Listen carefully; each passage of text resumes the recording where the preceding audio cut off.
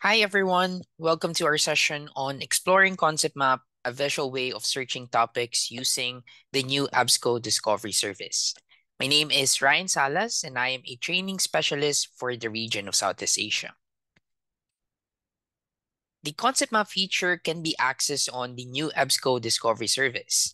Now, the EBSCO Discovery Service, also referred to as EDS, is a discovery layer that is designed to provide access to your library's electronic and print collection through a single interface.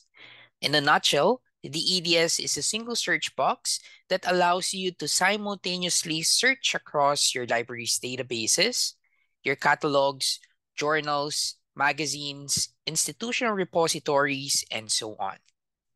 To provide additional context, you can think of the EDS as the Google for libraries, but it has more authoritative content and credible sources of information. And the concept map is a new feature on the new EBSCO Discovery Service user interface. The primary purpose of concept map is to enable users to interactively and visually explore related concepts to construct effective EDS search queries, yielding relevant specific EDS results.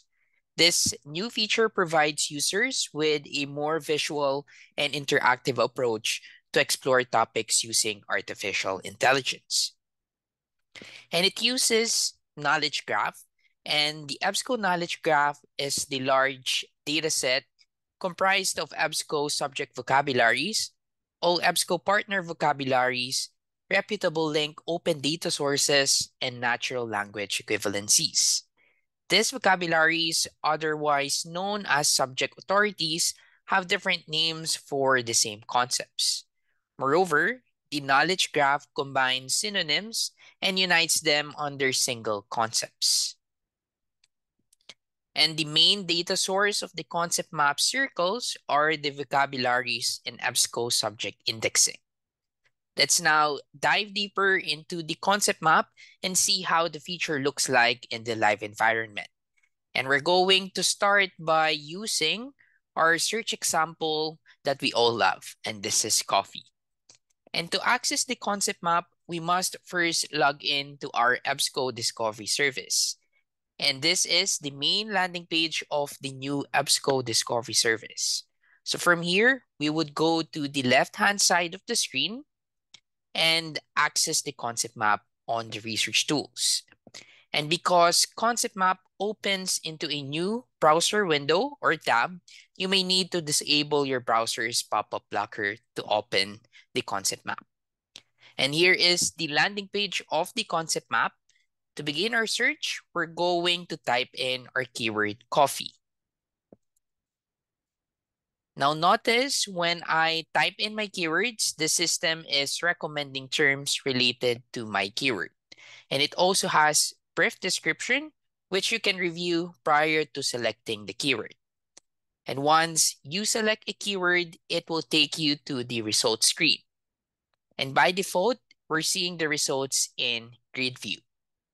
And here is our keyword, which is coffee.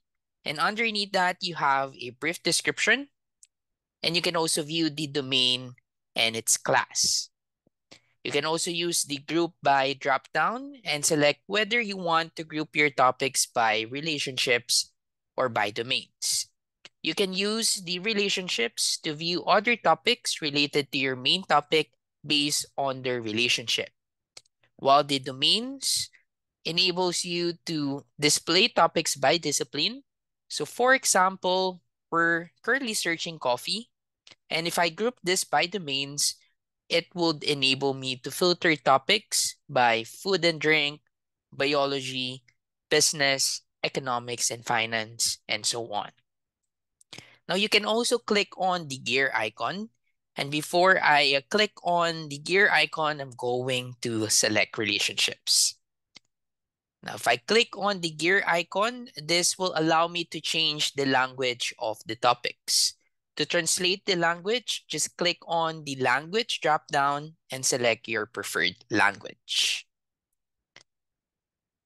You can also see the browse history if you scroll a bit further. So you have the browse history there.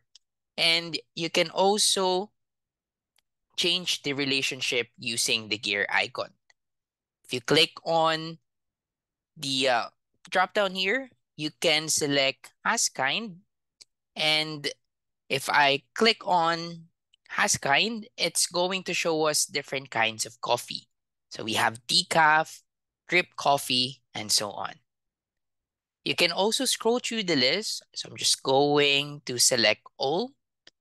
And if we go back to the results, you can also scroll through the list and click on explore concept. So if I click on explore concept, it's going to display a different main concept in the grid view and you have here decaf. So you can view all the subjects related to the new research focus. And by using the concept map, you can also build a multi-layered search and combine topics. Now to do this, you just have to click on the add to search button and you can continue to add more topics to the search builder. Now, as you add topics, you can uh, click on content preview to see a preview of your search results. And when you are finished adding topics to the builder, just click on see full results to execute a search for your terms on EDS. Now let's go ahead and add more terms. Now, if you want to uh, explore Costa Coffee again, just click on explore concept and then you can add this to your search. Now I'm going to add another keyword here and I'm going to select hot beverage. So again, I'm going to click on add to search and you can now click on the boolean operator in the search builder to change it.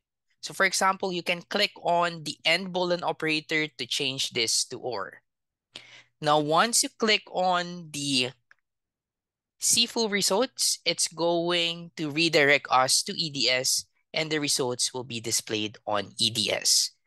Now, if I click on this, it's going to take us back to EBSCO Discovery Service.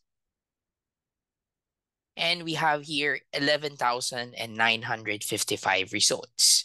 If you scroll through the list, you have here decaf, the word coffee, and so on. Now, apart from viewing the results in grid view, you can also view the results in map view. So you can view topics in the uh, map format. If I'm going to click on the map button, it's going to rearrange the results and it's going to show us the results in a web-like structure. I'm just going to quickly zoom in. Now in the middle, you have here your main topic, which is coffee. And again, you can navigate the concept map by clicking or dragging the pointer around to move the topics around the map. You can, again, click on the topic to view more information about this, and you can click on add to search in the window if you want to add this to your search builder. So I'm just going to deselect my keywords here, and I'm going to add coffee pot. Now you can continue to add more topics to the search builder. And as you add topics, you can click on, so I'm just going to select Costa Coffee and add this to my search. And as mentioned, you can click on content preview to see a preview of your search results. So we have 15,033 results. And as you navigate in the concept map, you can go to the center at the bottom to return to the main concept or to the center of the map. So if I click on go to center, it's going to uh, go back to the, uh, or it's going to allow us to view the results in center. Now, when you're finished adding topics to the builder, you can uh, click on see full results to execute the search for your terms on EDS. And your results are displayed on EDS and your search terms populate the search box. Now that concludes our session for today. And if you have any questions in the future, please feel free to contact me at ryansalas at ebsco.com. Bye for now.